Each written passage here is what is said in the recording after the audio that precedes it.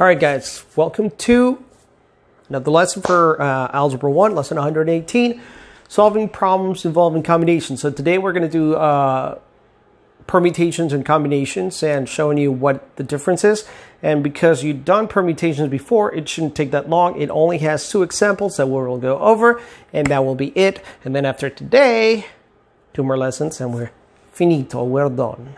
So let's actually get into it. Okay, so if we remember the formula, NPR equals n factorial, n minus r factorial. n means the number of possible choices, r is the amount uh, that really matter. So the order of how many of them matter.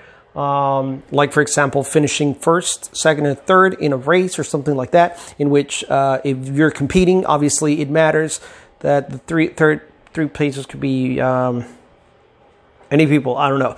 Let's call them Johnny, Louie, and Kenny.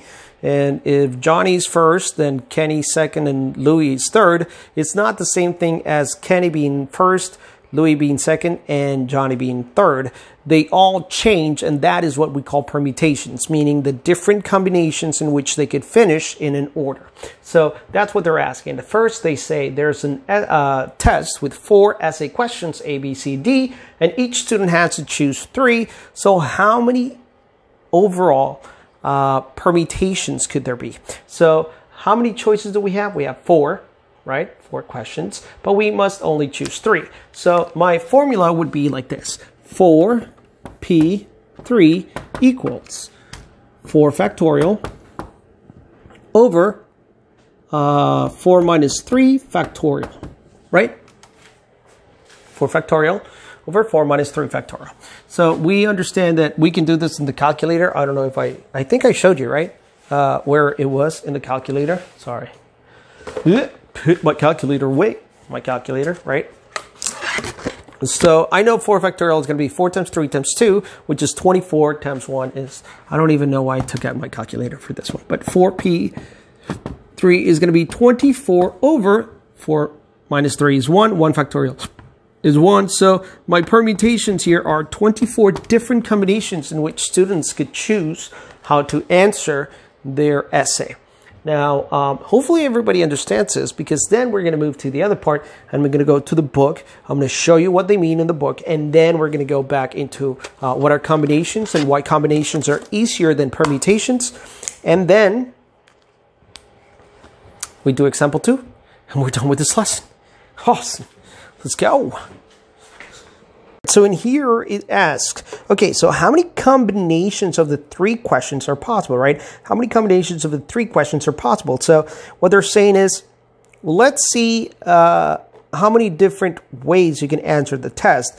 Uh, but you have to understand something. Combinations, it's it's very it's like pizza toppings, right? If you choose pepperoni, sausage, and bacon, is is the same thing as if you chose bacon, pepperoni, and sausage, or uh, pepperoni, bacon, and sausage, or sausage, uh, pepperoni, bacon, or whatever as you want to do is the same thing.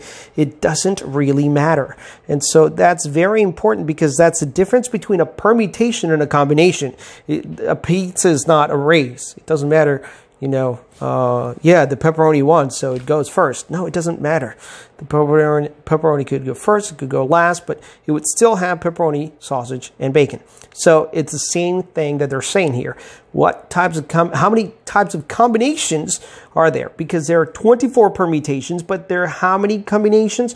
Well, you see here it says ABC is the same thing as ACB, CAB, CBA, BCA, and BAC. So all of these are the same thing as ABC, and that's why there's only four combinations. Yes, you could just list them all out and see which letters are unique, but that's kind of a waste, and that's why we actually have a formula for combinations. So let's actually go over the formula.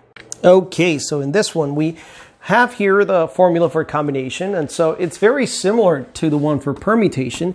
The only thing that changes really is in the denominator we have the r factorial that is multiplied by the n minus r factorial, which is what we've been doing before anyway. So in here we have the first example in example 2a, and it says, we can only choose two side dishes out of six choices. So how many different combinations can I have? And this is actually something that we use a lot more, like combinations of dishes, like when you go to, um, I don't know, I sometimes I think it's like um, Fridays or uh, Olive Garden or Ruby Tuesdays or something like that, where they have like choose and match or something like that. Even in Panera, like when they have choose two and they have all the soups and they have all the sandwiches and they have all the salads, and then you can choose two of those, and then they would charge you a little bit less because it's uh, a cup and half a sandwich or a cup and a, uh, of soup and a small portion or half a salad or something like that.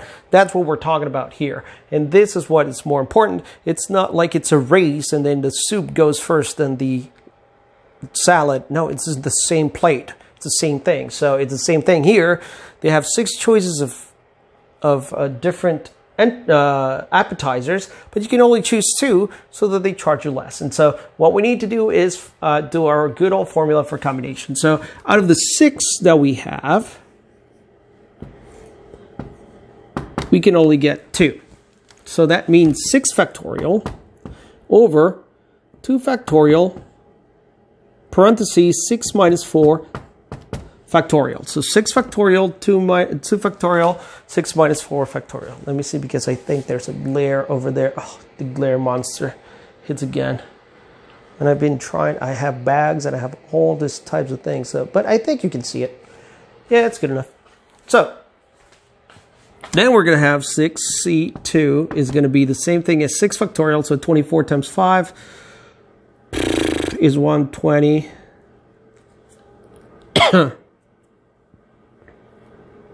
No, no, what, what am I saying? 34 times 5 is the same thing as 12 times 5 times 2. 12 times 5 is 60 times 2 is 120. Yeah, it's 120. I'm great here. Uh, 120 times 6. 360. Here would be just 2. And in here it would be 2. All of it factorial. Uh, 2 factorial and 2 factorial is 2 times 2, which is 4. We have 90 combinations? That makes no sense. It's only 15. 6 minus 2 is not 2, is 4. That's why. And I didn't make a mistake here. It's 720. Uh, because 24 times 5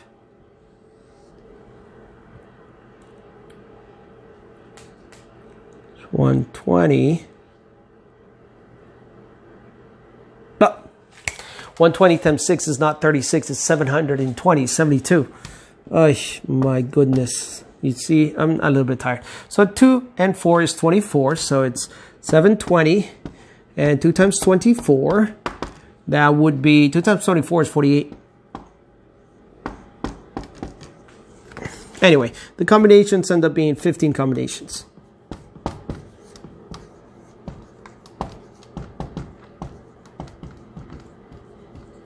So for those of you who are interested, if you have six choices and you can only choose two, there's actually 15 possible combinations in which order doesn't matter, but there will be 15 different combinations because that's what the mat tells us. And that's why combinations are not as easy as you guys think. So let's move on to the second part of this example. All right, in the last example, we have 16 types of fruit, but the customers can only choose 12. So what it says is that a company who delivers fruit to its customers, has 16 different types of fruit they offer, but the customers can only choose 12. So what you have to do is, and by the, by the way, I need a calculator for this one. It's not like I know what 1 times 2 times 3 times 4, I mean, I can do it up to 6, but 720 times 7, that's where I start to, uh, uh, it gets, starts to get crazy. And then I have to multiply that by 8, by 9, by 10, by 11, by 12, by 13, by 14, by 15, by 16. That's a lot. So uh, yeah, I'm not going to do that. I'm going to use my calculator. So it says 16C12. This is just a very good uh, way to keep track of which is N and which is R. N is before the C and R is after the C. The same thing when we do permutations. N is before the P, R is after the P. So then we're going to have 16 factorial over 12 factorial and 16 minus 4 fact 12 factorial, which is 4 factorial, which is 48, uh, 24, I mean. Is it 24? Yes, it is 24. So it's 24. And 12 factorial is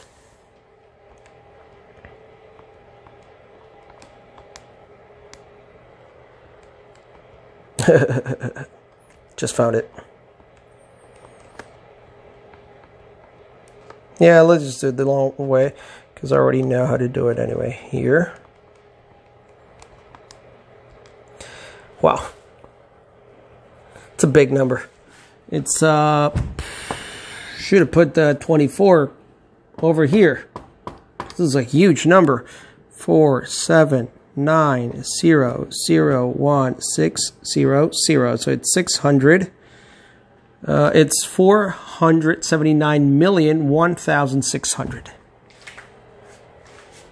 Yeesh. It's a lot. Wish I had that much money. Uh, and then 16, uh, let's just put 16 factorial. I'm going to show you something really quickly in the calculator so that you guys don't get bogged down like I did right now. Zoom to calculator. So then we go uh, to math. Beautiful button right there. And it gets to math and fractions, decimal. But then we're going to move three times until it hits probability. In probability, look at that. 2 and 3. 2 is, um, what is it called? Permutation. 3 is a combination. Look at that. When you press it in the newer calculators, you have to, or you are able to put the numbers there. So I'm going to put 16 before the C and 12 after the C. Look at that. It would look something like this. Then you press enter. There are 1,820 different combinations.